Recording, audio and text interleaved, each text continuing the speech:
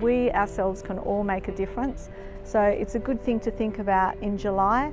My name is Annie Malone and I'm the owner and operator of Natural Temptation Cafe. We took over the plant um, about three years ago. We are looking to provide the local community with an organic option, so we have a range of organic fresh produce as well as dried goods, as well as a number of items in our gift department.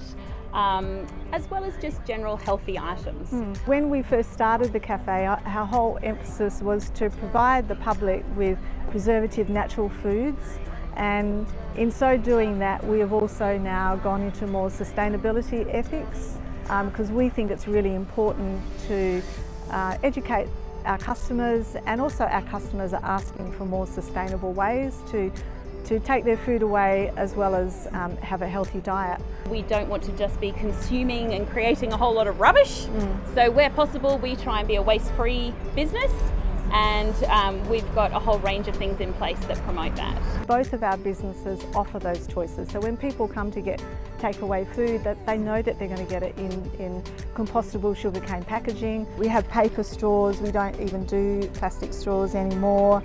Uh, all our coffee cups are now compostable, environmentally conscious as much as we can. Uh, we haven't had plastic bags for about the last five or six years. We just don't make it an, an, option now, so it's paper bags all the way. We aim to have a waste-free kitchen as much as possible. So we actually send all our soft plastics down to the plastic collection available in all supermarkets.